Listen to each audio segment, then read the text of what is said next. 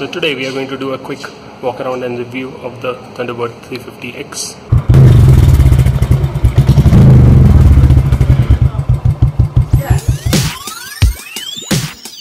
So this is the new Thunderbird 350X. Watch the full video to see both the colors that is the red and the white one.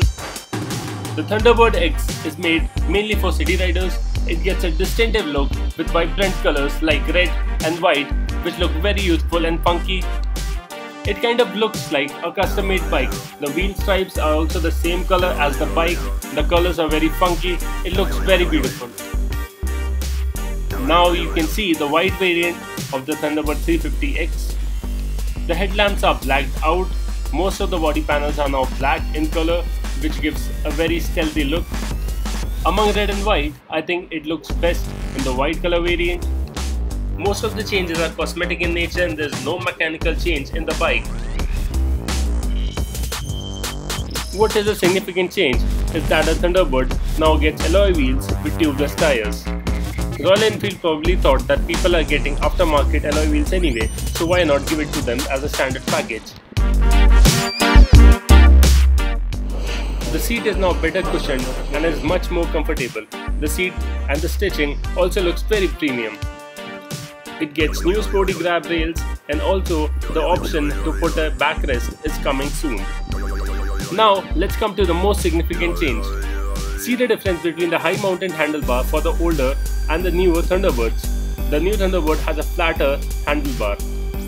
The instrument console is the same as the older Thunderbird. It has trip meters, odometer, tachometer and fuel indicators as well.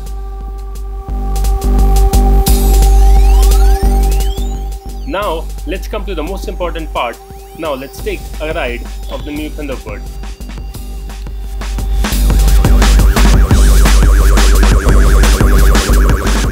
As I said, most of the changes are mechanical, so the bike still retains the vibration that are trademark of Royal Enfield now.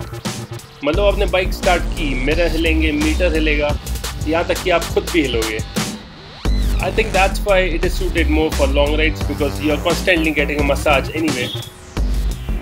Due to some reason the mirror is not getting fixed. So the handlebars are a little wider and a little lower than before so that makes it a little better for the city riding because you can easily flick around the bike much better than the previous model. So as the Royal Enfield is promoting it, it is more suited for city riding because that's what they made it for. So the bike runs exactly as the previous Thunderbird apart from a little bit more maneuverable. The gear shifts are still not smooth. In fact आपको actually आवाज़ आती है आप gear change करते हो तो टक करके उससे आपको पता चलता है कि actually gear change हो रहा है so there's nothing like a slick gearbox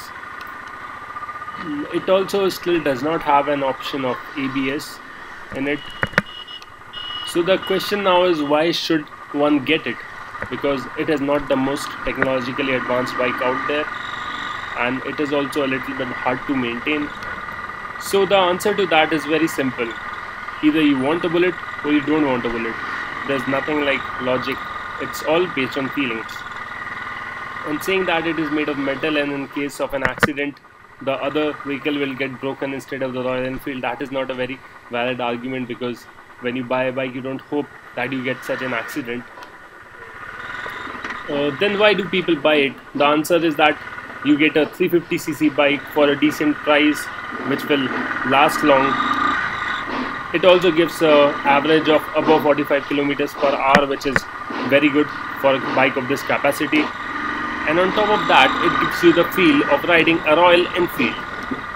Coming back to 350X, the bike gets a very good stance for a city ride. The ride quality of the bike is superb without a doubt. I do not feel the bad road at all. So if you ride mostly in the city, there is a much better option than the Thunderbird standard one and the classic 350 because it maneuvers very easily. It has got disc brake at both ends and it gets a much powerful headlamp setup and also the meter is more advanced compared to the other Royal Enfield bikes. So if you are a Royal Enfield fan and looking for a bike which is good for city duty, which looks amazing and which looks very youthful, then this is a very good option from Royal Enfield. However, the bike is almost some 20,000 more expensive than the 350 Classic. So based on your taste and your budget, you can make an informed decision. So this is Abhishek for the Lap Timer. See you next time. If you like this video and want to see more videos like this, hit the like button and subscribe button. I'll see you the next time.